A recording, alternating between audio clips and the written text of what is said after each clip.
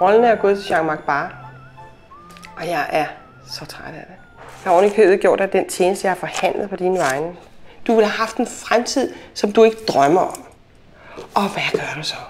Kommer op i et eller andet åndssvagt slagsmål, eller hvad i alverden det nu er, du har lavet? Kunne man ikke forestille sig... Hør her, jeg har spildt nok tid på det her. Farvel og tak, de her. Jeg sy- ja, og bliv dog voksne for helvede.